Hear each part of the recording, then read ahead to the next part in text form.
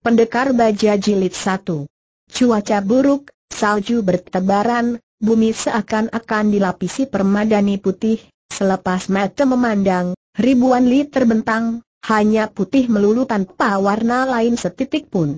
Jauh di luar kota Keihong, di bawah hujan salju yang lebat, tertampak dua ekor kuda di bedal kencang, penunggang kuda di depan mengenakan mantel berbulu tebal, kedua tangannya tersembunyi di dalam lengan baju. Kudanya gagah tapi penunggangnya kelihatan lesu dan ogah-ogahan, kepalanya mengenakan topi kulit rase yang sudah butut, topinya ditarik rendah hingga tidak jelas raut mukanya. Kuda yang mengintil di belakangnya juga ditunggangi satu orang, tapi orang ini mendekam melintang di punggung kuda, kiranya sesosok mayat yang telah kaku. Karena hawa dingin, maka wajahnya masih segar dan kelihatan seperti masih hidup, pakaiannya perlente, warna dan coraknya segar dan baru, sekujur tubuhnya tidak kelihatan ada bekas luka, wajahnya masih mengulum senyum, agaknya dia mati dengan tenteram seolah-olah mati dengan enak. Entah dari mana datangnya kedua penunggang kuda ini, tapi arah tujuannya adalah sebuah perkampungan besar yang terkenal di luar kota Keihong.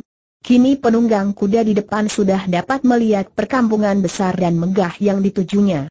Perkampungan ini terletak di sebelah barat parit pelindung kota, ada ratusan wuwungan yang memenuhi tanah seluas beberapa puluh hektare. Perkampungan seluas ini ditandai dengan pintu gerbang yang tidak pernah tertutup sepanjang tahun.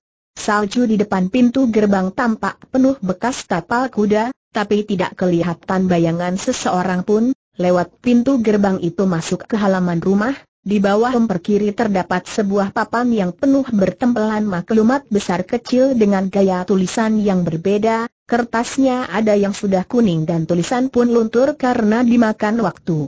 Memasuki pintu kecil di sebelah kanan orang akan berada dalam pekarangan yang menghadap ruang kecil, ruangan yang kosong tanpa pajangan dan perabot kecuali deretan peti-peti mati, ada belasan peti mati, semuanya masih baru dan belum dipelitur, Seakan-akan di sini memang tersedia peti mati entah untuk dijual atau persediaan untuk penduduk kampung. Padahal hawa amat dingin, tapi tidak kelihatan ada api di dalam ruangan. Dua orang lelaki berpakaian hitam tampak nongkrong di atas peti mati di deretan paling depan. Kedua orang ini duduk berhadapan sambil minum arak. Tiga guci arak sudah menggeletak di lantai, tapi kedua orang ini tidak kelihatan mabuk, padahal perawakan mereka kurus kering, berwajah kaku dingin, selintas pandang tak ubahnya wajah patung, tampang kedua orang hampir mirip satu dengan yang lain, mereka terus minum seperti berlomba saja dan tanpa bicara. Orang di sebelah kiri buntung lengan kanannya sebatas siku, tangan yang buntung itu dipasangi sebuah gancu besar warna hitam legam, beratnya belasan kati, setiap kali gancunya bergerak seperti hendak menggantol bolong peti mati, tapi yang digantol hanyalah sebutir kacang yang kecil terus dilontarkan ke dalam mulut. Lepek wadah kacang sedikit pun tidak tersentuh. Laki-laki satunya lagi bertubuh utuh, tapi setiap kali habis meneguk secangkir arak tubuhnya lantas terbungkuk-bungkuk dan batuk, namun tetap tidak kapok, secangkir demi secangkir arak dituang lagi ke dalam perut, Agaknya biar batuk sampai mampus juga tidak akan berhenti minum. Rupanya dia lebih rela mati daripada pantang minum arak. Lewat serambi di sebelah kiri akan sampai ke ruang pendopo, api unggun tampak berkobar di dalam pendopo, di situ berderet delapan meja penuh hidangan, semuanya hidangan kelas satu, ada delapan meja, tapi hanya untuk tujuh orang. Tujuh orang masing-masing menduduki sebuah meja, maklum, Rupanya ketujuh orang ini tidak mau duduk di sebelah bawah yang lain, maka tidak ada yang duduk bersama satu meja. Usia ketujuh orang ini paling-paling baru tiga puluhan, tapi sikap dan tingkah mereka kelihatan angkuh, seperti orang gede layaknya. Ketujuh orang ini ada lelaki dan juga ada perempuan, ada padri, ada preman, ada yang menyandang pedang, ada yang membawa kantong kulit, yang sama adalah sorot mati mereka berkilat tajam, jelas lekang mereka cukup tinggi, jelas mereka adalah jago-jago muda dunia persilatan. Kelihatannya ketujuh orang ini satu sama lain tidak saling kenal, tapi juga seperti sudah kenal, mereka pasti bukan datang dari satu tempat, tapi kini serentak berada di tempat ini, entah untuk apa mereka kemari. Di belakang pendopo, melewati sebuah serambi pula dan belok ke kanan terdapat sebuah bangunan lain, suasana sepi, ruangan di sebelah kiri tertutup rapat namun tercium bau obat. Sesaat kemudian tertampak seorang anak dengan rambut digelung kundai membuka pintu keluar dengan membawa kaleng obat. Kini daun pintu terbentang lebar, tertampak dalam ruang itu ada tiga orang tua beruban. Seorang bermuka kurus kuning, duduk di atas ranjang sambil memeluk selimut tebal, agaknya sudah lama diarbah di tempat tidur karena mengidap sakit. Seorang lagi berperawakan tinggi besar, gagah dan tampan, Alisnya tegak, matanya besar bercahaya, kedua tangannya putih bersih laksana batu kemala, walau usianya sudah lanjut, namun masih terbayang bekas ketampanan masa mudanya dulu. Orang ketiga bertubuh kekar, pundaknya lebar, dadanya bidang berotot, jenggotnya kaku, matanya bundar laksana mata singa, hawa sedingin ini, tapi dia hanya mengenakan baju tipis, baju di depan dadanya terbuka lebar lagi. Kalau rambut dan jenggotnya tidak beruban, siapa percaya usianya sudah tua? Tiga orang ini duduk di depan ranjang, di ujung ranjang sana ada sebuah meja pendek bertumpuk buku-buku catatan, di sampingnya adalah belasan ikat pinggang dari berbagai jenis kain dan warna yang berbeda. Waktu itu si kakek berjenggot pendek kaku itu sedang membuka ikat pinggang itu satu per satu, setiap ikat pinggang ditempeli kertas. Sementara kakek bertubuh tinggi itu memegang pensil dan kertas, ia mencatat apa yang tertera di atas kertas tempelan itu, tiada yang tahu apa ini tulisan itu, namun kelihatan muka ketiga orang ini sangat prihatin dengan dahi berkerut. Selang sekian lamanya, terdengar kakek tinggi itu menghela napas, katanya.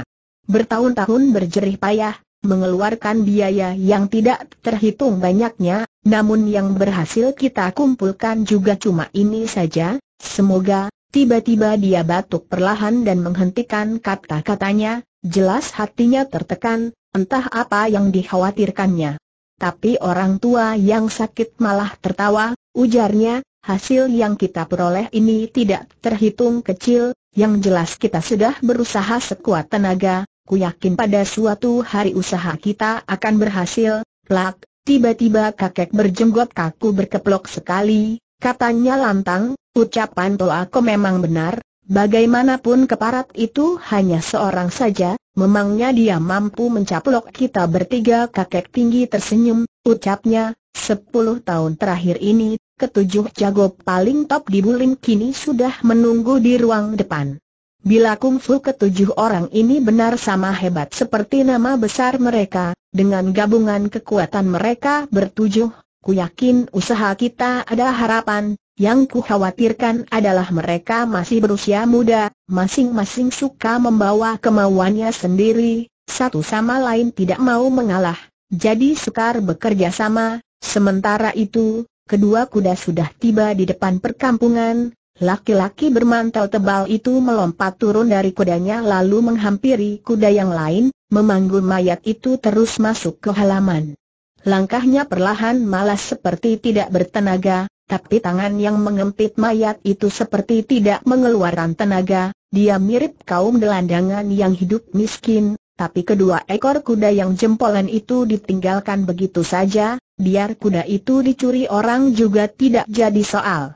Langsung dia mendekati dinding penahan angin, dengan kemalas-malasan dia mendorong topi bulunya hingga kelihatan raut mukanya, kiranya dia seorang pemuda tampan, mulutnya mengulum senyum walau sikapnya tidak acuh, seperti tidak peduli akan segala sesuatu di sekitarnya, tapi siapa pun bila melihat tampangnya pasti tertarik dan bersimpati kepadanya hanya pedang panjang yang tergantung di pinggangnya dengan sarung pedangnya yang kelihatan kotor dan dekil, sehingga timbul kesan orang meski pedang itu senjata yang dapat membunuh orang, tapi berada di pemuda ini rasanya tidak perlu ditakuti lagi.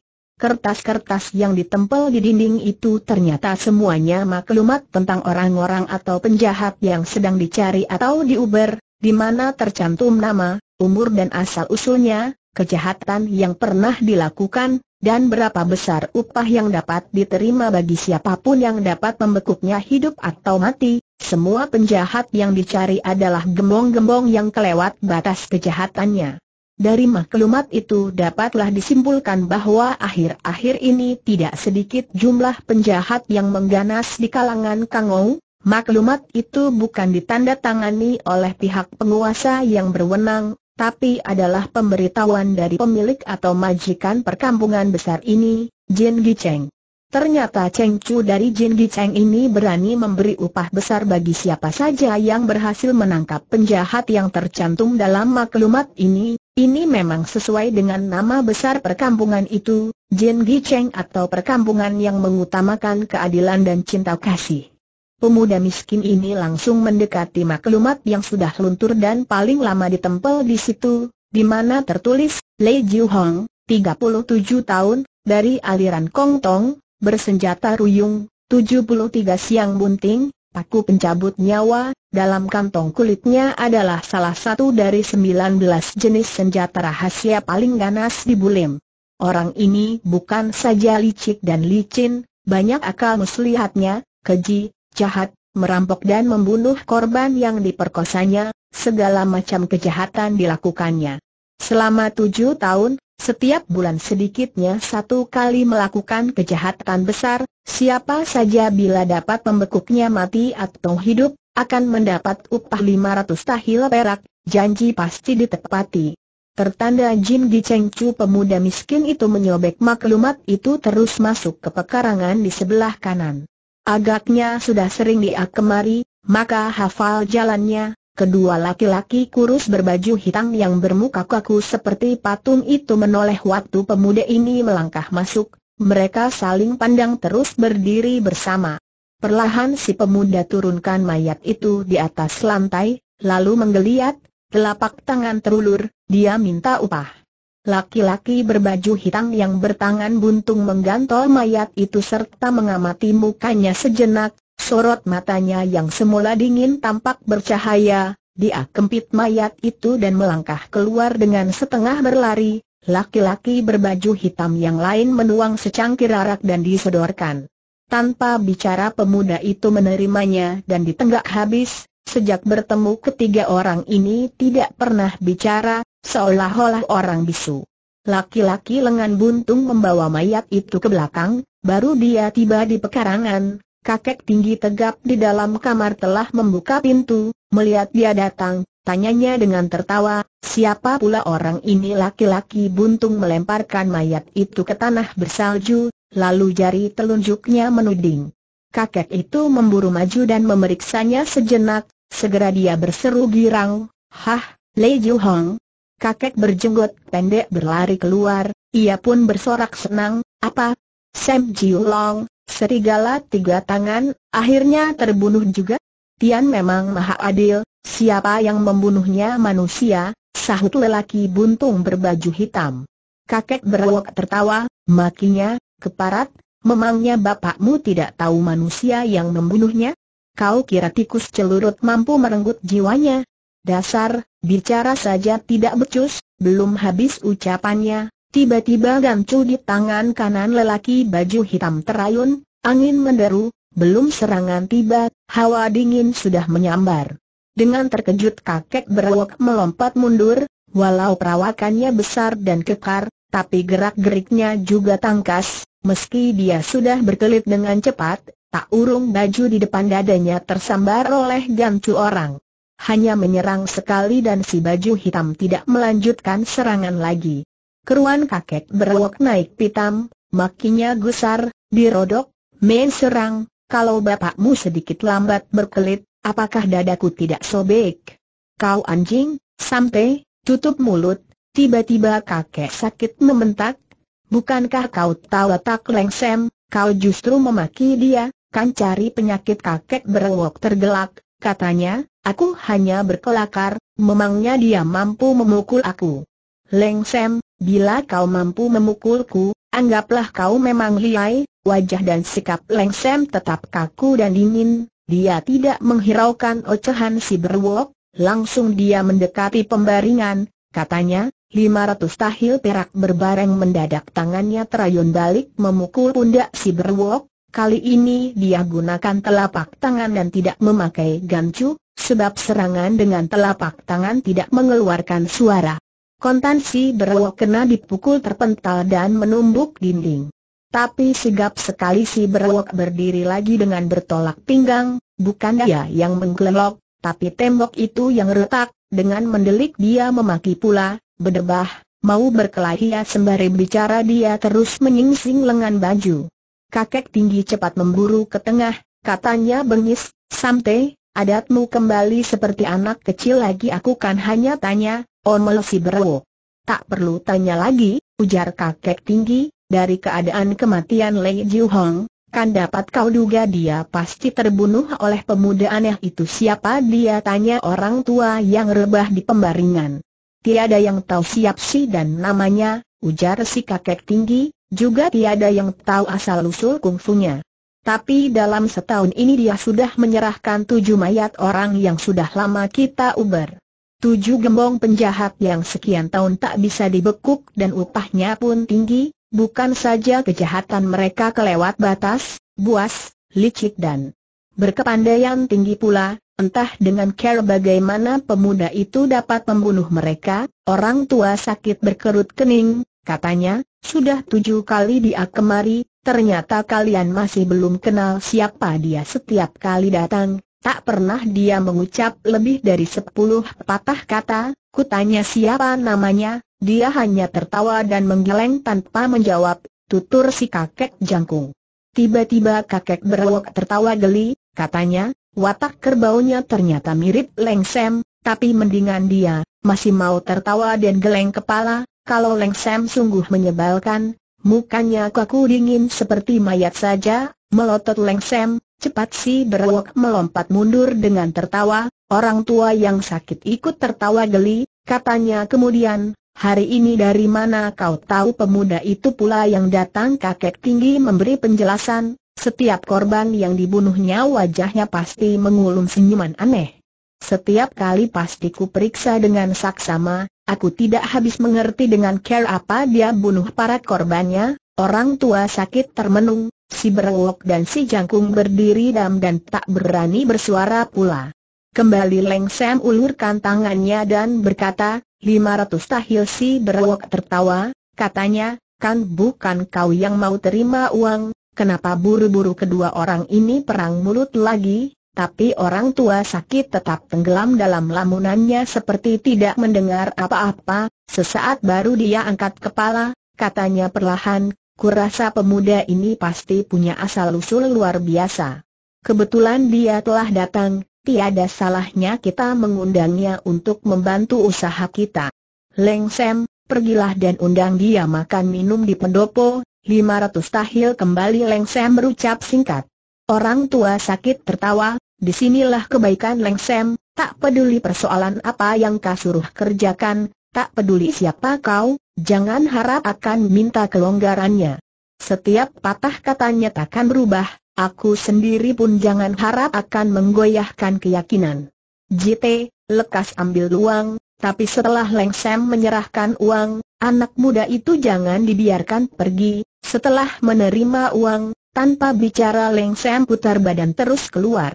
Si berwok tertawa pula, katanya, budak lebih galak dari majikannya, sungguh jarang ada di dunia ini, orang tua sakit menarik muka, katanya dengan sungguh-sungguh, dengan kungfu mereka berdua, jika tidak mengingat hubungan orang tuanya dengan aku pada masa dulu, mana mereka sudi menetap di sini dengan merendahkan derajat mereka?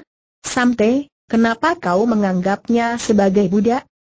Aku hanya bergurau saja, ujar si berwok, hanya anak kura-kura yang menganggapnya budak, kakek tinggi tersenyum sambil mengawasi orang tua sakit, katanya, jika kau ingin sampai bicara dengan halus, kukira jauh lebih sukar daripada suruh Leng Sam berbicara, selama itu pemuda miskin tadi dan lelaki berbaju hitam tetap tidak berbicara, namun mereka sudah duduk berhadapan, secangkir demi secangkir mereka seperti berlomba minum, Setiap menghabiskan secangkir arak lelaki baju hitam lantas terbatuk-batuk, akhirnya pemuda Rudin ini minum makin cepat dan banyak, dengan cepat guci kosong di lantai telah bertambah dua.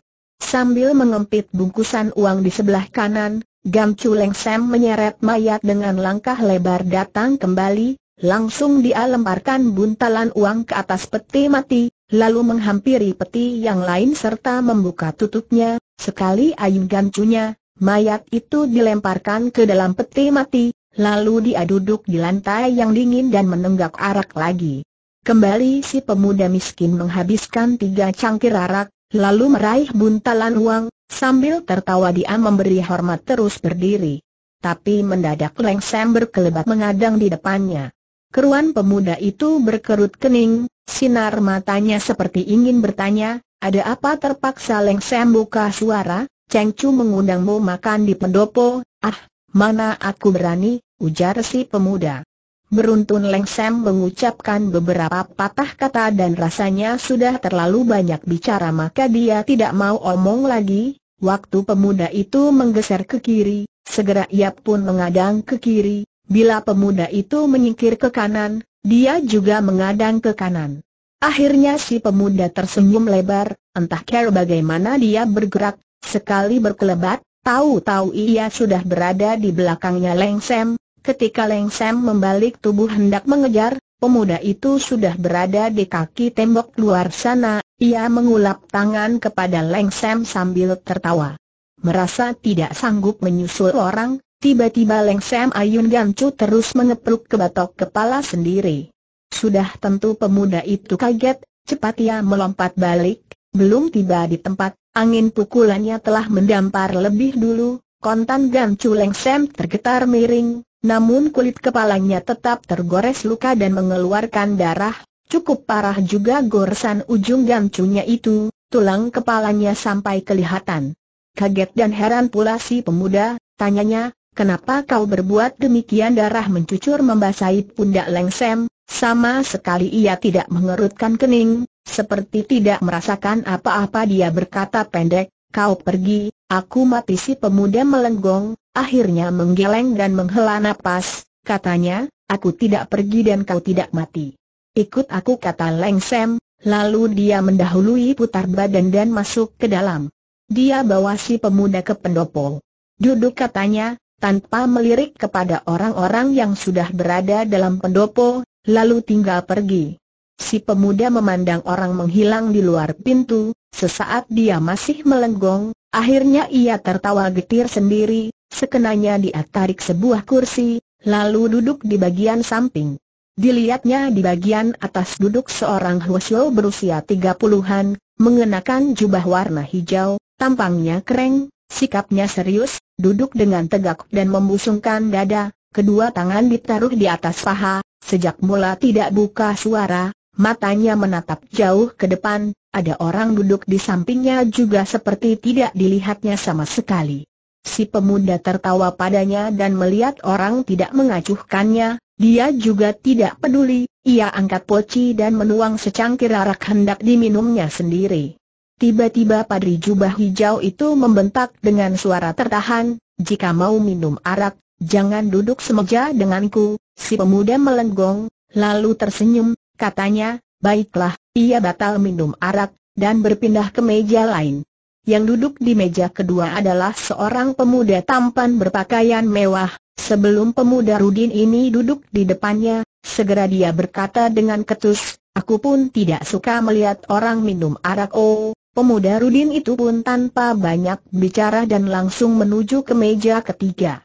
Meja ketiga berduduk seorang gadis jelita berpakaian serba putih, dengan tajam dingin dia awasi kedatangan si pemuda, ia berkerut kening dan cemberut, ternyata pemuda Rudin ini cukup tahu diri, segera dia menuju meja keempat. Seorang tojin kurus kering mendadak berdiri, cuh, cuh, Tiba-tiba dia meludahi setiap hidangan yang berada di depan mejanya, lalu dia duduk kembali dengan tenangnya. Dengan tersenyum si pemuda mengawasi Tojin kurus ini, ia menuju meja kelima. Yang duduk di meja kelima ini adalah seorang pemuda bertampang jelek, badan gemerlot, dua uci-uci besar menonjol di kedua pipinya, rambutnya semrawut seperti rumput kering, seperti tidak ada orang lain di sekitarnya dia tengah melahap seluruh hidangan yang tersedia, sayur di atas meja hampir habis disikatnya seorang diri. Kini si pemuda Rudin yang berkerut kening, tengah ragu, tiba-tiba dari meja sebelah seorang tertawa dan berkata, Saudara yang gemar minum arak, silakan duduk di sini. Si pemuda menoleh, dilihatnya yang bicara adalah seorang pengemis bermata satu, mukanya buik, pakaiannya penuh tambalan dan dekil, dengan tertawa lagi melambaikan tangan kepadanya, jarak masih jauh, tapi hidung si pemuda sudah mengendus bau wapak dan kecut dari badan si pengemis, mungkin tidak pernah mandi dan ganti pakaian, tapi tanpa berkerut kening langsung pemuda itu duduk di kursi yang ditunjuk, katanya dengan tertawa, banyak terima kasih, Pengemis mata satu berkata, ada hasratku mengajak Anda minum sepuasnya, sayang arak dalam poci sudah kosong. Mari silakan lahap saja hidangan ini, lalu dia angkat sumpit, giginya yang kuning tampak menjijikan, lebih dulu dia kecup ujung sumpit, lalu dia jepit sepotong daging dan diangsurkan ke piring di depan si pemuda, tanpa periksa si pemuda makan daging itu. Begitu lahap dia mengunyah daging itu, Jangankan daging itu disumpit oleh si pengemis, umpama daging itu direbut dari mulut anjing juga akan dilahapnya. Di sebelah lagi meja ketujuh, berduduk seorang laki-laki bermuka merah, lagi mengawasi si pemuda yang serba tak acuh terhadap segala sesuatu itu, agaknya dia sangat tertarik sehingga duduk melongo dan lupa minum arak. Seorang kacung cilik berbaju hijau tiba-tiba berlari masuk membawakan dua poci arak langsung mendekati meja si pengemis, katanya dengan tertawa, maaf, terlambat mengantar arak lalu dia isi penuh cangkir kedua orang yang duduk berhadapan ini. Si pemuda tersenyum, terima kasih dia merogoh saku dan mengeluarkan seikat uang bernilai seratus tahil terus diangsurkan ke tangan si kacung cilik. Kacung itu melongot, Katanya tergagap, ini, apa ini si pemuda tertawa, katanya, uang ini kuberi untuk beli sepatu, mengawasi uang perak di tangannya, kacung itu terkesima sekian lamanya, katanya kemudian, tapi, tapi, mendadak dia putar badan terus berlari pergi. Tidak sedikit dia melihat pemuda hartawan yang royal, tapi belum ada yang sekali memberi persen sebanyak ini. Pengemis bermata satu angkat cangkirnya, katanya, saudara memang royal, mari minum secangkir ini keduanya angkat cangkir dan menghabiskan arak masing-masing. Mendadak pengemis mata satu menahan suara, katanya, dalam beberapa hari ini Cai Hai juga ada keperluan mendesak, entah saudara, belum habis orang bicara, si pemuda sudah merogoh keluar empat ikat uang perak dan ditaruh di atas meja, katanya sambil mendorongnya ke depan orang, jumlah sekadarnya ini silakan saudara terima dengan senang hati, 500 tahil perak itu diperolehnya dengan tidak gampang, tapi semudah itu dia berikan uang jerih payahnya kepada orang yang baru dikenalnya. Lekas pengemis mata satu meraih uang perak itu terus disimpan dalam baju, katanya sambil menghela napas, mestinya Cai Hai perlu 600 tahil, masa saudara sekikir ini, hanya memberi 400 tahil si pemuda tersenyum, segera dia membuka mantel kulit berbulu, katanya, mantelku ini mesti sudah tua, kukira nilainya cukup 200 tahil, boleh saudara mengambilnya pula. Setelah menerima mantel itu, si pengemis mengelus-elusnya lalu meniup bulunya, katanya kemudian, bulunya masih baik, sayang sudah terlalu tua, lalu dibolak-balik beberapa kali mantel itu, paling banyak dapat digadaikan untuk 150 tahil, harus dipotong lagi rentengnya 15 tahil. Ai, apa boleh buat padahal orang belum pernah kenal padanya, namun sudi memberi uang dan barang, tapi pengemis ini masih kurang puas, mengucap terima kasih pun tidak. Ternyata si pemuda juga tidak peduli, kini hanya baju tipis saja yang melekat di badannya, ternyata dia seperti tidak merasa dingin, dengan tertawa dia minum arak pula.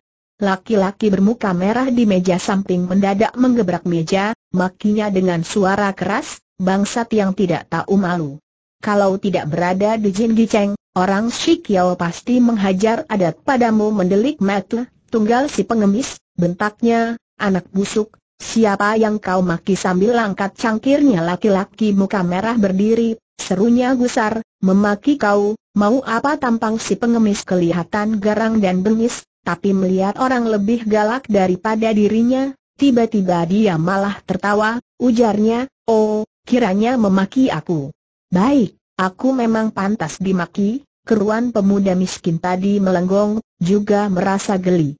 Laki-laki muka merah segera menghampirinya dan menepuk pundaknya, lalu menuding pengemis mata satu dan berkata, Saudara, orang ini suka menindas yang lemah tapi takut pada yang kuat, di mana dan kapan saja dia suka merugikan orang lain, tanpa sebab kau memberi uang kepadanya, dia justru memaki kau kikir, Manusia macam dia bukankah lebih rendah dari binatang pengemis mata satu anggap tidak mendengar dan melihat, dia angkat cangkir dan habiskan araknya sendiri, gumamnya, arak bagus, arak enak. Arak tanpa bayar, siapa yang tak mau minum sampai puas, kan tolol dia laki-laki muka merah naik pitam, dia melototi si pengemis. Mendadak perempuan gemrot bertampang jelek tertawa, katanya dari tempat duduknya, Kiao Ngoko, orang ini memang terlalu, tapi sudah kau maki dia habis-habisan, sungguh kasihan, boleh kau ampuni saja, wajahnya jelek dan tubuhnya buntak, tapi suaranya ternyata merdu menggetar sukma.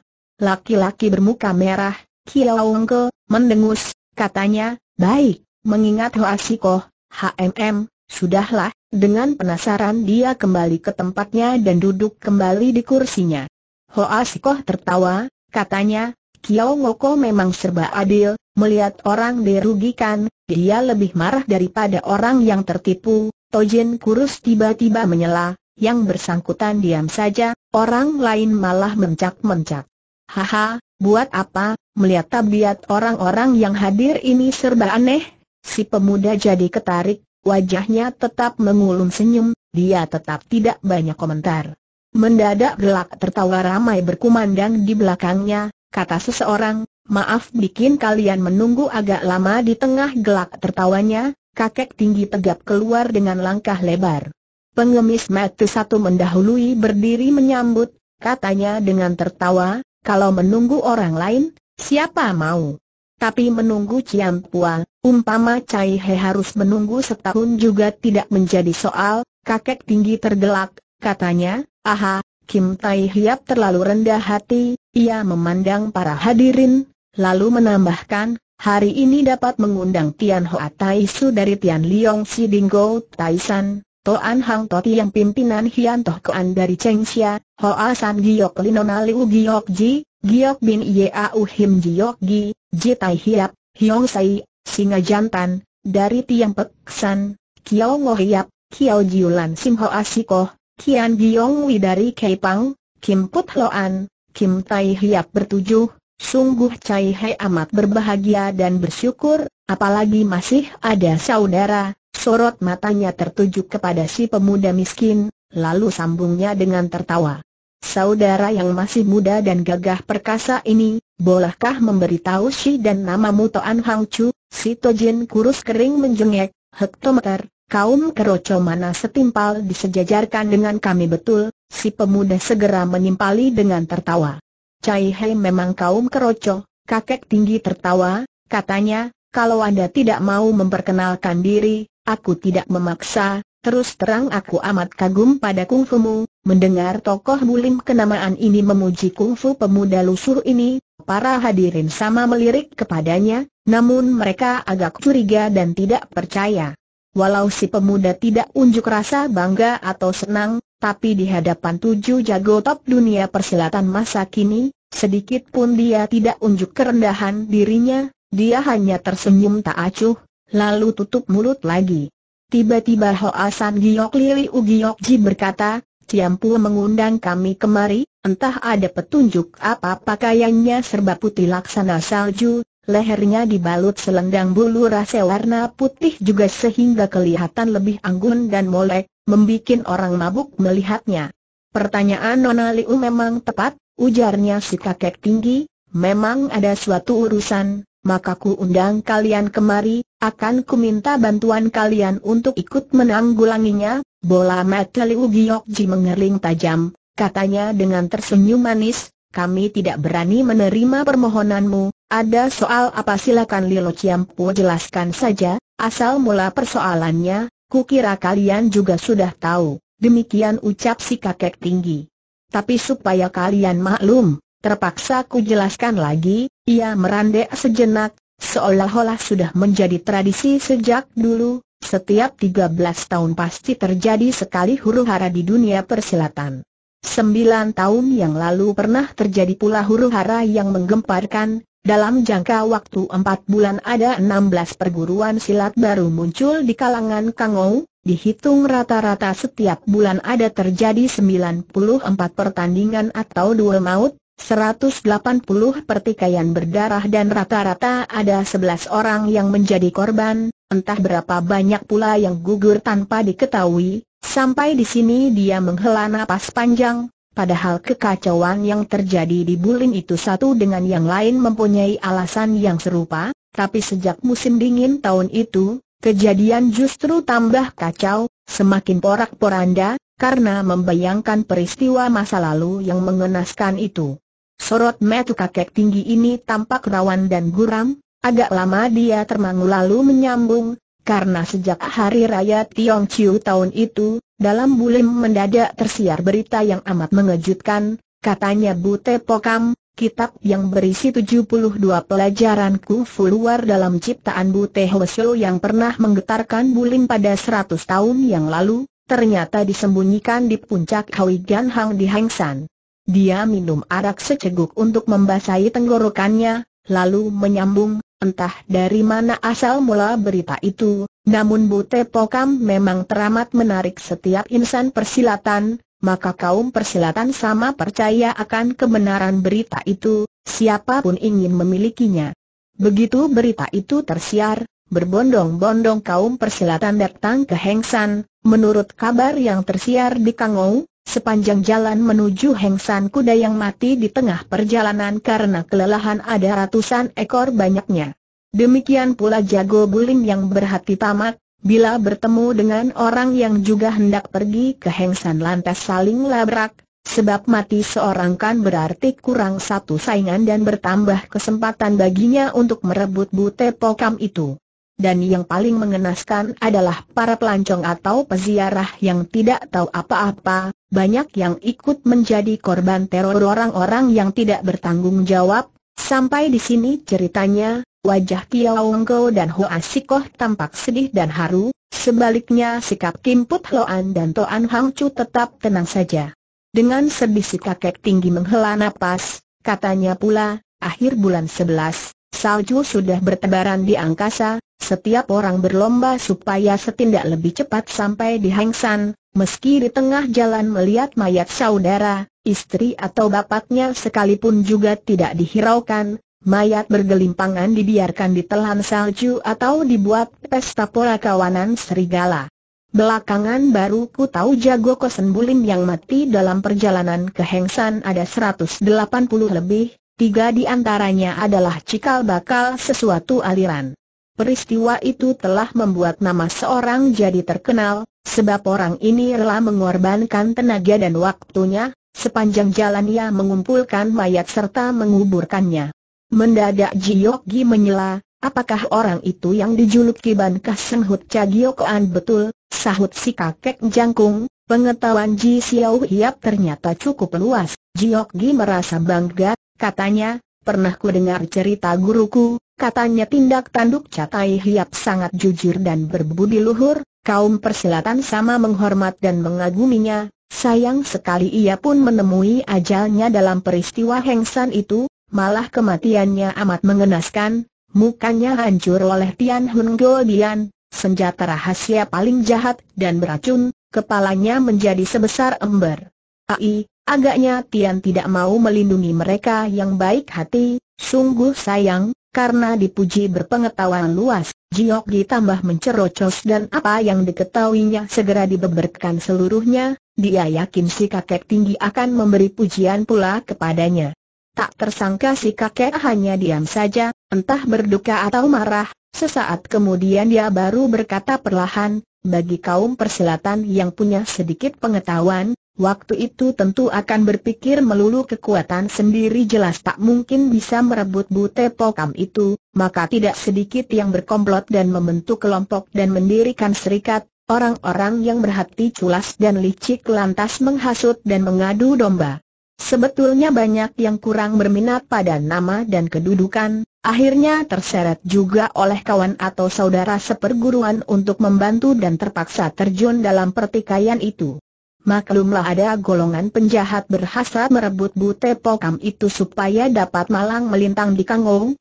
Demikian pula para pendekar menjadi khawatir, bila pusaka itu jatuh ke tangan orang jahat, dunia tentu tidak akan aman, maka mereka saling berlomba untuk merebut pusaka itu dengan cara masing-masing. Dalam jangka tiga hari, ada dua ratusan jago top dunia persilatan yang berkumpul di Hui Gan Hong, yang berkepandaian rendah sudah menemui ajal di bawah puncak, maka yang berhasil mencapai puncak itu jelas adalah persilat kelas tinggi, agaknya si kakek jangkung memang pandai pidato, rangkaian ceritanya pun menarik, suaranya mantap bertenaga, Terdengar dia melanjutkan, jago top persilatan itu datang dari berbagai penjuru, di antara mereka termasuk Ciang Bunjin tujuh aliran besar, gembong-gembong iblis yang sudah lama mengasingkan diri pun tidak sedikit jumlahnya. Dua ratusan orang yang terbagi dalam 27 kelompok itu mengadakan pertempuran atau duel sengit secara bergilir, sampai di sini dia menghela napas, dalam 19 hari itu, Puncak Hui Gan Hang diliputi hawa pedang melulu, tiada burung terbang ke sana atau binatang berkeliaran, siapa pun dia, betapa tinggi kungfunya, asal sudah berada di Hui Gan Hong, maka jangan harap bisa tenteram sekejap pun, sebab setiap gerak langkah bisa jadi mengundang maut, umpamanya Tiong Chiu Kiam Kek mati pada saat dia makan, disergap orang. Ban Seng Chu Jilop Piao tahu terpenggal kepalanya pada waktu tidur, maka siapa takkan kebat-kebit menjaga keselamatan sendiri dalam suasana yang menegangkan itu, sampai makan dan tidur pun menjadi persoalan bagi mereka. Pertempuran sengit yang berlangsung beberapa hari, ditambah ketegangan yang mencekam, banyak menimbulkan tekanan jiwa bagi mereka, orang yang biasanya berjiwa luhur bukan mustahil bertindak keji dan buas, Giok Hian Chu, Chiang Bunjin atau Ketua Heng. Sampai selama lima hari lima malam tidak makan dan minum, setelah merobohkan enam lawan tangguh, tiba-tiba jadi gila, Ciok Kitoti yang yang menjadi sahabat kentalnya juga tiba-tiba dibunuhnya, lalu dia terjun ke dalam jurang mengakhiri hayatnya, perang, tiba-tiba ada cangkir arak jatuh dan pecah, kiranya saking tegang mendengarkan, tangan Hoa Sikoh jadi gemetar dan cangkir yang dipegangnya terlepas. Hadirin juga terkesima mendengar cerita itu, suara cangkir pecah yang mendadak ini pun membuat kaget mereka. Perlahan si kakek jangkung merapatkan pelupuk matanya, setelah bertempur mati-matian selama 19 hari, 200 jago kosen di Hui Gan Hang tinggal 11 orang saja yang masih hidup, nama 11 orang ini pun, terluka parah, luekang dan kungfu mereka tidak lagi bertahan seperti semula. Jago inti seluruh bulim boleh dikatakan telah gugur dalam peristiwa itu. Selama lima ratusan tahun, tidak jarang terjadi pertempuran besar kecil di kalangan Kangou, tapi korban yang jatuh paling besar terjadi pada peristiwa Hengsan itu, sampai di sini ceritanya, matanya yang terpejam tampak cucurkan dua baris air mata. Perlu diketahui bahwa kakek tinggi ini dulu bergelar Put Pei Sin Kiam, pedang sakti tak terkalahkan, Li Tiang Cheng, sementara orang tua sakit itu adalah Tian Kiteling, bumi sakti rahasia alam, Jin Tiong Cikiat, manusia jenius di antara sesama, Kiti, dan si berwokah Itun Cegu, kalau marah menelan ke bau, Lian Tian Hun, ketiga orang tua ini mengangkat saudara. Mereka adalah tiga orang di antara kesebelas orang yang masih hidup dalam peristiwa Hengsan itu. Betapa seram dan mengerikan kejadian masa itu, sampai sekarang masih mengirik bila mengenang dan membicarakannya. Agak lama keadaan pendopo itu menjadi sunyi, akhirnya Li Tiang Cheng bersuara pula, Yang paling menyakiti hati adalah kejadian itu sendiri hakikatnya hanyalah suatu tipu muslihat belaka. Aku bersama Kito Ako, Lian Samte, Hang Hoak Taisu dari Xiaolin, Tian Hian Tot yang dari Butong, dan pendekar besar sakti Kiu Chiu Ong Sim Tian Kun akhirnya tiba di gua tempat penyimpanan pusaka itu. Kala itu kami berenam sudah kehabisan tenaga, dengan kekuatan kami baru berhasil menggeser batu besar yang menyumbat mulut gua, ternyata gua itu kosong melompong, di atas dinding tertulis huruf besar warna merah darah yang berbunyi, kalian tertipu, kejadian sudah beberapa tahun berselang, tatkala mengucap kedua patah kata itu, masih terasa betapa penasaran hatinya, suara pun gemetar. Sambil mendongak dia menghela napas panjang, lalu meneruskan, Melihat tulisan besar itu, kecuali Kito Ako, kami jatuh pingsan saking gusar dan penasaran. Waktu aku siuman kembali, ku dapati Sim Tai Hiap dan Hong Hoa Taisu ternyata sudah, sudah mati di dalam gua. Ternyata kedua pendekar besar ini amat malu dan kecewa, mengingat korban yang jatuh sebanyak itu, mereka sedih bukan main, akhirnya menumbukan kepala ke dinding dan mati seketika dengan kepala pecah. Luka Tian Hian Tot yang paling parah, sekuat tenaga dia meronta meninggalkan tempat itu kembali ke Butongsan, sayang lukanya tak bisa disembuhkan akhirnya ia pun meninggal. Tinggal kami tiga bersaudara, kami masih tamak hidup sampai sekarang, suaranya tersendat tak mampu meneruskan ceritanya pula. Dari berita yang tersiar di kalangan Kangou, para hadirin sudah tahu akan kejadian itu, Kini mendengar ulang cerita itu dari mulut orang yang langsung bersangkutan dengan peristiwa itu, tak urung mereka sama terbeliak. Pemuda Rudin itu pun tertunduk lesu sambil memejamkan mata. Mendadak si singa jantan Kiau Gerong menggebrak meja, serunya, mati hidup adalah suratan takdir, namun ada perbedaan enteng dan beratnya.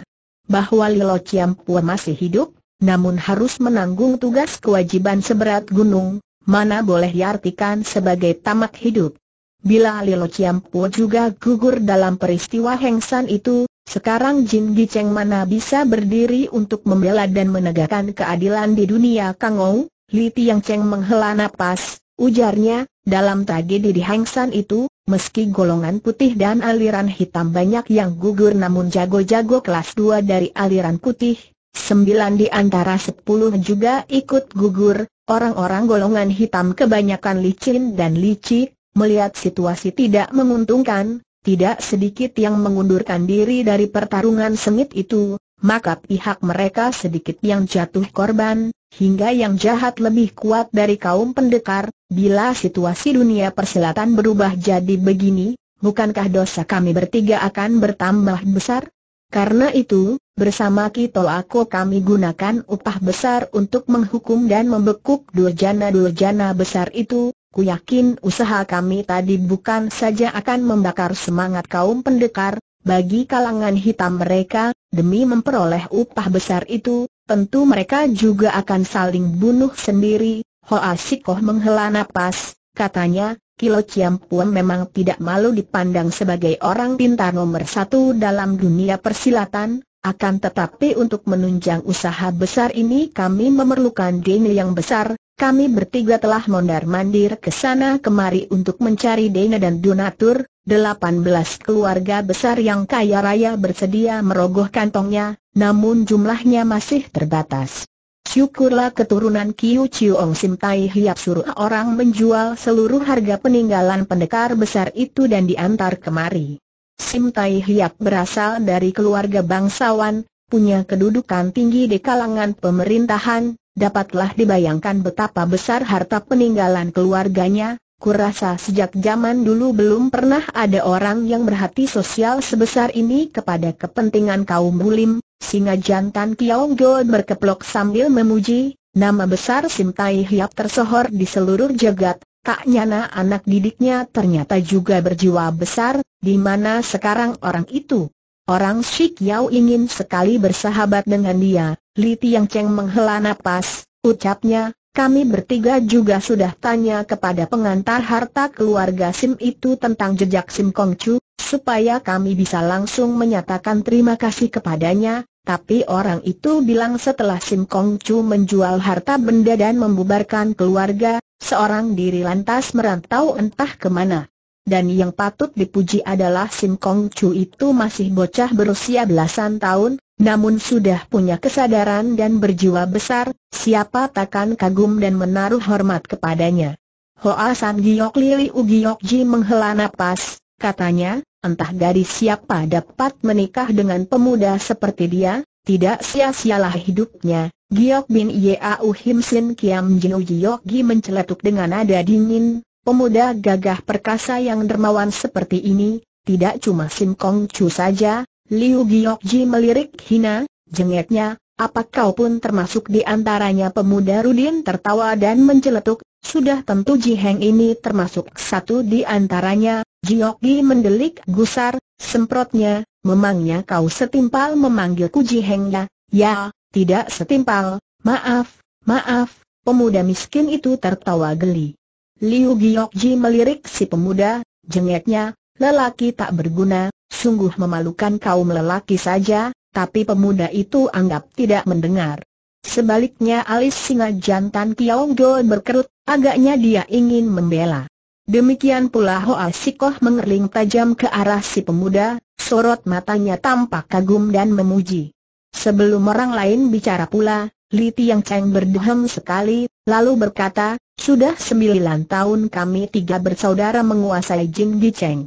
Selama sembilan tahun ini, musuh yang menyerbu kemari ada ratusan kali, sembilan dari sepuluh bagian kungfu kami bersaudara telah lenyap, kalau tidak dibantu oleh para sahabat dan pembantu setia terutama Leng Ke Heng Te, saudara keluarga Leng, Jin Giceng mungkin sejak lama sudah bubar. Upah yang telah dikeluarkan oleh Jin Giceng ada puluhan laksa tahil, tapi modal utama yang berhasil kami kumpulkan sejak mula belum pernah berkurang sepeser pun, semua ini berkat usaha Leng Jite yang pandai mengatur dan berdagang, setahun penuh dia mondar-mandir keluar, keuntungan sudah cukup untuk biaya pengeluaran sehari-hari. Ketiga saudara ini bekerja keras, bukan saja mereka tidak mengejar nama dan pangkat, juga tidak memikirkan keuntungan pribadi, bahwa Jin Gi Cheng dapat tegak berdiri seperti sekarang juga berkat tunjangan mereka. Kami bertiga justru hanya membonceng keberhasilan mereka saja, kalau dibicarakan sungguh memalukan dan harus disesalkan, Lilo Ciampu terlalu merendah, ujar Liu Giokji. Engkau malam ini mengundang lampu kemari, entah ada petunjuk apa bahwa pusaka terpendam di Hang San dulu hanya merupakan muslihat, tapi setelah peristiwa Hengsan itu memang diketahui harta peninggalan yang tak ternilai banyaknya, Kim Put Hoan terbeliak, serunya, harta apa 200 jago kosen yang mampu naik ke Hui Gan Hang semua adalah orang-orang ternama, kungfu mereka berbeda, orang-orang itu tahu setelah mencapai tempat tujuan, harapan hidup kemungkinan sangat tipis, khawatir kungfu sendiri putus turunan, maka tidak sedikit yang telah meninggalkan buku catatan tentang pelajaran silat dan harta benda yang mereka miliki, padahal di antara mereka banyak yang tidak punya murid atau keturunan, bila punya keturunan juga sudah gugur di tengah perjalanan, maka menjadi masalah bagi mereka kepada siapa harus menyerahkan warisannya itu, akhirnya mereka menyembunyikan peninggalan itu di suatu tempat rahasia, jika diri sendiri kelak tidak bisa mengambilnya, biarlah ditemukan oleh siapa saja yang berjodoh. Waktu itu nama Ban Kaseng Hut Chagiok Koan sedang tenar-tenarnya, kaum persilatan sama memuji tindakannya yang gagah dan bajik, Apalagi biasanya Cagiokoan memang suka bersahabat dan tidak kikir mengeluarkan duit, para kesatria ternama di kalangan Kangou tidak sedikit yang bersahabat dengan dia, maka pada waktu menyembunyikan barang peninggalan mereka, siapa pun tiada yang merahasiakan hal ini di hadapannya, malah banyak yang sengaja menunjukkan tempat penyimpanan peninggalan itu kepadanya, jika mereka mati mereka titip supaya peninggalannya itu diatur semestinya, Li Tiang Cheng menghela napas pula, lalu menyambung, setelah tragedi Hang San itu. Di antara sebelas orang yang masih hidup juga ada tujuh orang yang pasrahkan peninggalan mereka kepada Cagiokoan. bahwa akhirnya mereka masih hidup sudah tentu akan mengambil pulang barang peninggalan mereka itu, tak nyana setiba mereka di tempat penyimpanan, barang mereka itu sudah hilang. Di tempat penyimpanan itu mereka hanya menemukan secari kertas kecil dan tertulis dua huruf kalian tertipu, rentetan peristiwa akibat tragedi di Hangsan itu ternyata merupakan rahasia yang belum diketahui orang banyak, maka hadirin sama tersirap darahnya, seru Jiokgi dengan tergagap, tapi, bukankah Caciampu sudah mati keracunan, tiada orang yang menyaksikan bahwa Cagiokoan benar-benar sudah mati, bukan mustahil dia sengaja mencopot baju sendiri dan dipakaikan pada mayat orang lain, apalagi, setelah Kito Ako memerhatikan gaya tulisannya, huruf kalian tertipu itu ternyata mirip dengan tulisan tangan Cagiokoan, Lalu kami menyelidiki lebih cermat tentang berita adanya pusaka terpendam di Huigan. Hang di Hengsan itu, enam orang di antara sepuluh orang mendengar berita itu dari mulut Cagiokoan.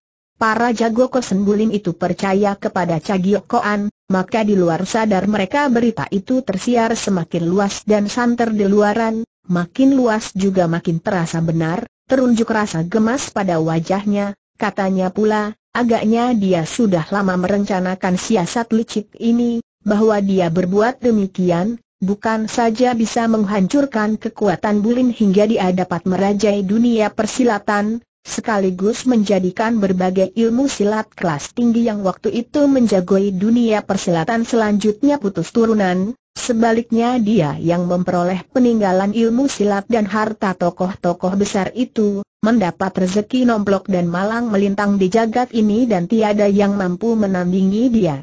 Selama beberapa tahun ini, dia tidak pernah muncul, tentunya sedang memperdalam dan mempelajari berbagai kungfu aliran-aliran besar itu.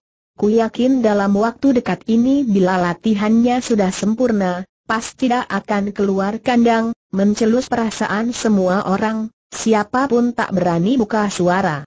Akhirnya Tian Hoa dari Ngego Taisan angkat bicara, kalau betul demikian kejadiannya, maka Cagiokoan sungguh terhitung manusia durjana dan laknat di kalangan bulim. Namun semua ini tanpa bukti, jelas tidak mungkin menuduh biang keladi dari tragedi itu adalah Cagiokoan, entah Lilo Ciampu sependapat tidak dengan pendapatku ini suaranya kalem tapi lantang, pendapatnya adil dan jujur, sejak Hang Hoat Taisu dari Xiaolin gugur, memang tidak malu dia dianggap sebagai padri agung nomor satu di Bulim masa kini, nama besarnya sekarang sudah lebih unggul daripada Chiang Bunjin Xiaolin Pejin Sim Taisu. Bagus sekali urayan Taisu, bagus sekali. Itulah salah satu sebab kenapa kami mengundang kalian berkumpul di sini. Tiga tahun kemudian kami mengetahui munculnya seorang aneh di luar perbatasan Giok Bun Koan, Jejak orang ini tidak tentu, jahat atau baik tidak pasti. Yang menarik perhatian adalah orang ini membekal inti ilmu silat dari berbagai aliran terkemuka, setiap kali turun tangan selalu berbeda jurus serangannya, pernah orang menyaksikan, sekaligus dia melancarkan ilmu silat ajaran Butong, Xiaolin, Gobi, Kong Tong dan Kunlun, lima aliran besar yang tidak pernah diwariskan kepada sembarangan orang, Padahal Chiang Bunjin kelima aliran besar sendiri juga belum pernah mempelajari ilmu yang dia mainkan itu, hadirin saling pandang, perasaan tertekan, darah tersirap. Dan lagi sepak terjangnya teramat luar biasa, hidupnya mewah, suka berfoya-foya, setiap perjalanannya selalu diikuti ratusan pembantu, biaya yang dikeluarkan dengan sendirinya sangat besar, setiap hari mendekati 10.000 tahil perak. Sejak muncul tiada orang tahu nama dan asal-usulnya, jarang orang tahu di mana tempat tinggalnya. Yang pasti, hanya jelas bahwa dia datang dari luar perbatasan, di sana dia mengumpulkan manusia jahat sebagai komplotannya, sekarang kekuatannya makin melebar, kabarnya sudah merembes ke daerah Tionggoan, agaknya berambisi mencaplok dunia ini, mungkinkah orang itu Cagiokoan adanya? Tanya Jiokgi. Begitu orang muncul, Kito aku sudah curiga bahwa orang itu mungkin Giokoan, orang segera kami sebarkan untuk menyelidiki jejaknya dan mencari tahu asal-usulnya, tidak sedikit bahan yang kami terima tentang riwayat hidup Cagiokoan, semakin banyak bahan yang berhasil dikumpulkan, semakin besar keyakinan kami bahwa orang itu memang patut dicurigai, tapi juga menakutkan. Betul, ucap Tian Hoat Kaisu setelah merenung sejenak, orang-orang di seluruh jagat sama tahu jiwa pendekar Ban Kaseng Hut Cagiokoan, tapi bagaimana sejarah riwayat hidupnya sebelum dia ternama, jarang ada yang tahu. Mungkinkah ketenaran namanya itu juga merupakan muslihat keji cetus Jiokgi pula? Kata Li Tiang Cheng, kami telah menghabiskan 50 laksa tahil perak, mengerahkan ribuan orang, akhirnya berhasil juga membentuk suatu ikhtisar riwayat hidupnya. Baru saja kami selesai menurut catatan hasil penyelidikan kami itu, boleh silakan kalian memeriksanya dulu, lalu dirundingkan lagi bersama, dia lantas menggantung segulung kertas di atas dinding dan membeber ke bawah. Habis itu dia berpaling keluar jendela, agaknya dia berjaga-jaga bila ada orang yang tidak berkepentingan mendadak menerjang masuk. Saat itu si kacung kecil berbaju hijau berjalan masuk membawa pensil dan kertas serta dibagikan kepada kedelapan tamu. Gulungan kertas itu terdiri dari dua lembar, lebarnya lebih setombak, bentuknya mirip lukisan, figura keluarga bangsawan yang sering menghiasi ruang tamu. Di atas kertas penuh tertulis huruf kecil. Yang sebelah kiri begini bunyinya, nama, sebelum berumur 20 bernama Caliang, 20 sampai 26 bernama Caimbing, 26 sampai 37 bernama Calip, setelah 37 bernama Cagiokoan. Asal usul, ayah bernama Carit Ping, hartawan besar di Oke Tiong, Ibunya bernama Li Xiao Jui, gundik ketujuh Carit Ping, punya 16 saudara, Cagiokoan adalah yang termuda. Sejak kecil sudah kelihatan cerdas, suka menirukan suara orang maka dia fasih berbahasa banyak daerah, sejak ternama mengaku sebagai orang asal Tiong Chiu dan semua orang percaya. Waktu Cagiokoan berusia 14, 30 orang anggota keluarganya mati secara misterius dalam sehari, Cagiokoan mewarisi harta kekayaan orang tuanya, maka dia bebas bergaul dan bersahabat dengan komplotan Wan Yang Oh Tiap Pei, komplotan penjahat yang sering merampok, membunuh dan memerkosa. Tiga tahun kemudian warisan keluarganya ludes untuk foya-foya, sejak itu Cagiokoan mencukur rambut menjadi Hwasyu. Perguruan, usia 17 masuk biara Xiao Lim menjadi padri pencari kayu bakar dan dipekerjakan di dapur, karena mencuri belajar kufu akhirnya diusir dari perguruan.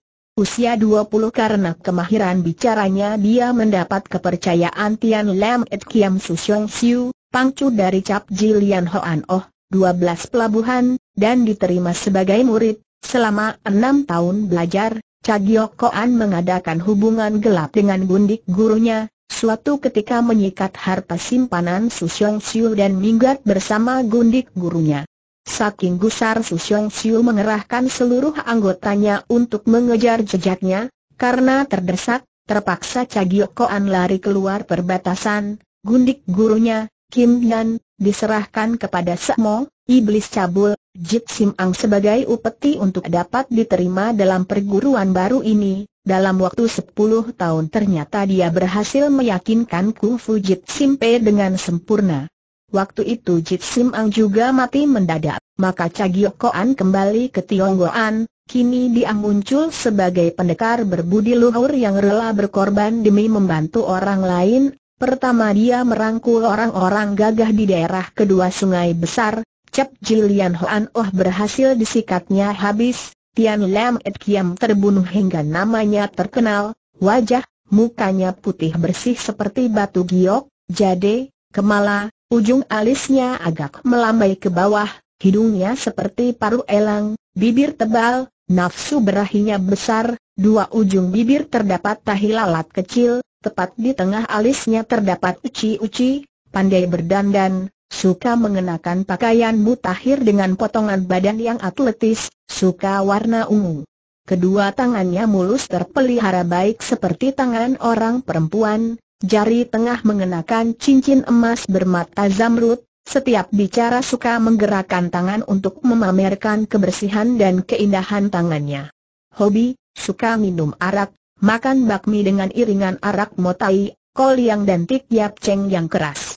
Hidangan yang digemari adalah panggang keong sawah, tiram goreng atau daging ular, daging babi pantang makan. Mahir menunggang kuda, sering seorang diri mencongklang kuda sekencang angin hingga kuda mati di bawah cambukan, suka berjudi, taruhannya besar. Suka berburu, terutama memburu wanita cantik, nafsunya terlalu besar, setiap malam takkan puas sebelum tidur dengan dua orang perempuan. Ciri-ciri, mahir bicara dan pidato, pandai menyelami perasaan orang, tokoh ternama akan merasa rugi bila tidak bersahabat dengan dia, bila bicara selalu tersenyum, habis membunuh orang pasti mencuci bersih kedua tangannya, senjata yang digunakan bisa ternoda darah terus dibuang, mahir menggambar dan ahli tulis menulis. Dalam gulungan kertas ini memuat riwayat singkat Cagiokoan, hidupnya memang banyak gaya ragamnya, para hadirin sama berubah air mukanya demi membaca riwayat hidupnya ini. Sementara tulisan pada sebelah kanan berbunyi, nama, penduduk di luar perbatasan Giok Bun Koan biasa memanggilnya Hoan Hai Ong, Raja Gembira, nama aslinya tidak jelas.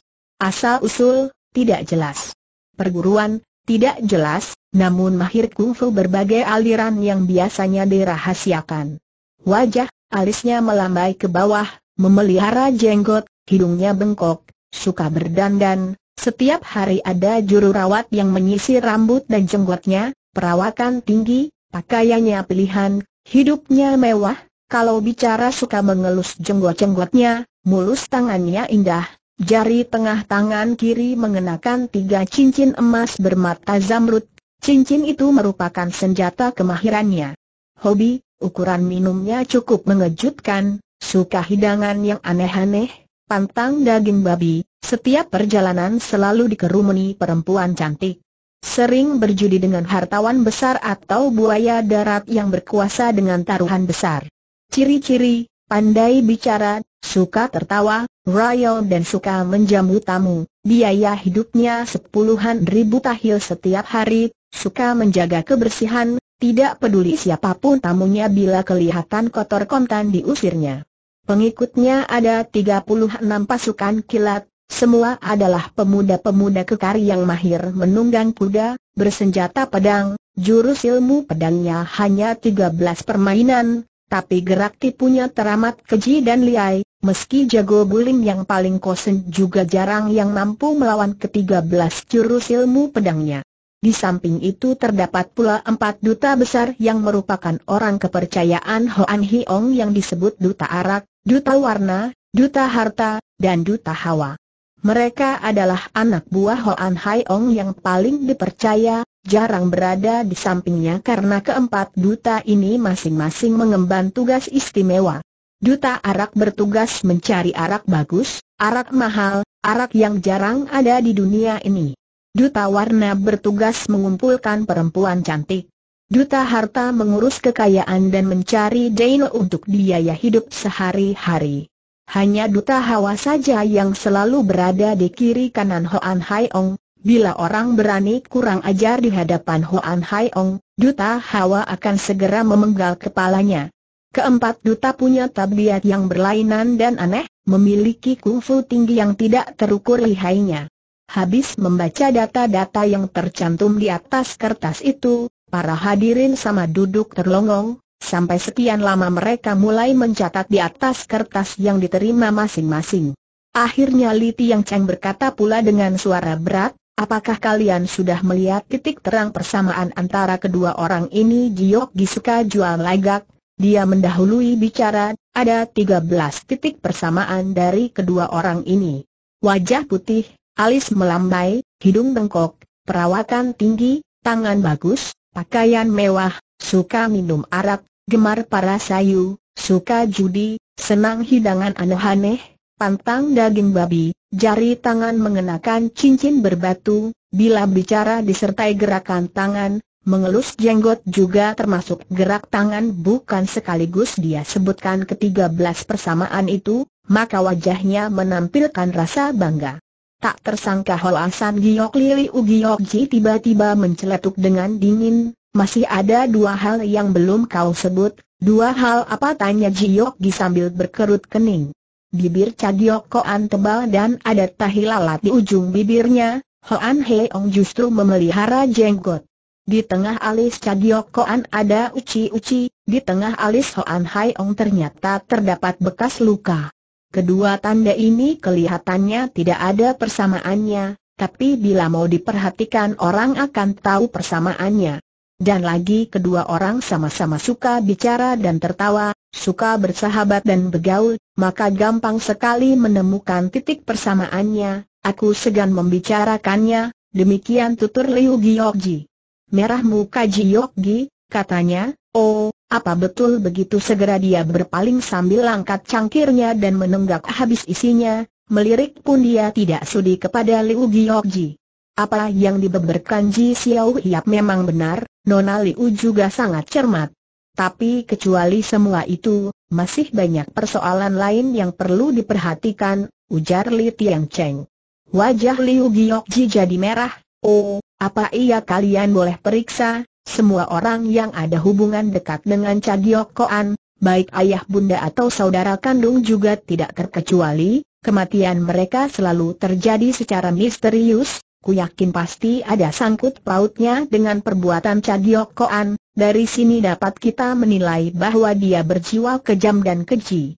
Sejak terjadinya tragedi di Hengsan, tidak sedikit pelajaran silat dan harta benda yang diperoleh Cagiok Koan, Hoan Hiong kaya raya dan mahir berbagai cabang ilmu silat bahwa Cagiokoan berani meracun mati orang tua dan sanak saudaranya sendiri, mengkhianati perguruan dan mendurhakai guru, sampai teman tidur juga dia rebut dari tangan orang lain, lalu diberikan pula kepada orang lain lagi, menjual teman adalah soal sepele baginya, nada bicara Li Tiang Cheng masih keras, sorot matanya beringas, dari berbagai persamaan yang meyakinkan ini, masuk di akal kalau kita berkesimpulan bahwa Chagiokoan adalah Hoan Haiong dan Hoan Haiong adalah Chagiokoan. Setelah para hadirin ikut menganalisis data-data itu, mereka pun sependapat, akhirnya Tian Hoa Taisu mengangguk, katanya sambil merangkap kedua tangan, orang ini suka foya-foya, nafsunya besar.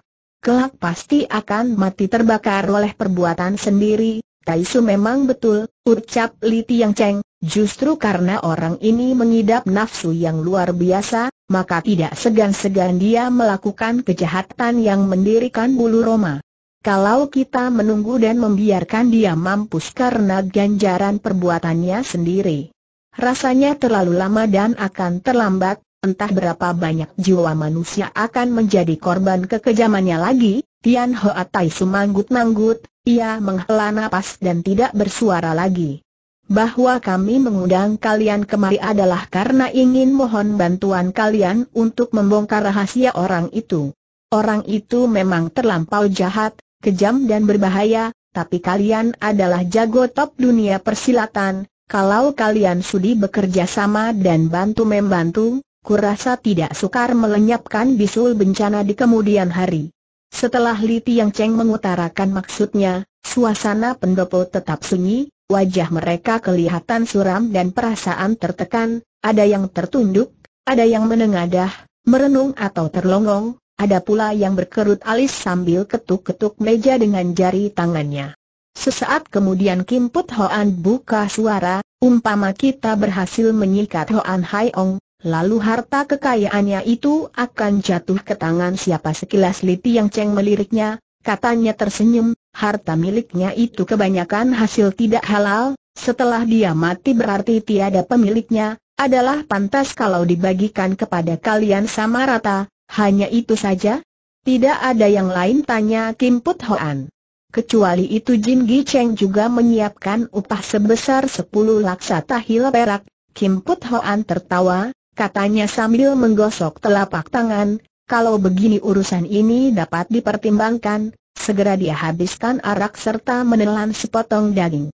Kiong Go menjengek hina, katanya, kiranya manusia tamak yang merah matanya bila melihat uang, mungkin setelah mampus juga masih minta uang. Kim Put Hoan tertawa lebar, mulutnya berkecap-kecap, serunya, ah, terima kasih atas pujianmu, Giok bin Yau Him Giok Gi sejak tadi melamun dengan menengadah, pembicaraan orang seperti tidak diperhatikannya, tiba-tiba dia bergumam, soal ini memang serba sulit, tapi inilah kesempatan baik untuk angkat nama, mendadak dia gebrak meja dan berteriak, baiklah, siapa berhasil membunuh Hoan Hai Ong, sepantasnya dianugerahi gelar jago nomor satu, umpama benar demikian, gelar jago nomor satu juga tidak bakal kau rebut, demikian ejek Liu Giokji.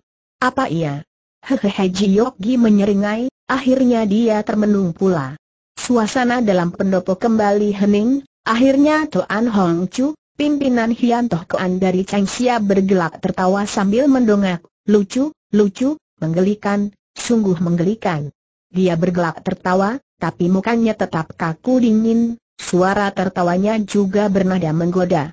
Entah adakah hal yang kurang benar sehingga Toti yang tertawa tanya Li Tiang Cheng. Apakah Anda menghendaki orang-orang ini bekerja sama dan bersatu padu tanya Toan Hong Chu. Begitulah maksud kami, sahut Li Tiang Cheng. Toan Hong Chu menyeringai, katanya, coba lihat para orang gagah ini, kalau bukan kemaruk harta tentu gila pangkat, adakah di antaranya pernah memikirkan kepentingan umum? Jika menginginkan orang-orang ini bekerja sama, hehehe, kurasa jauh lebih sukar daripada mencampur minyak dengan air, Li Tiang Cheng menghela napas sambil mengerut alis, lama dia bungkam.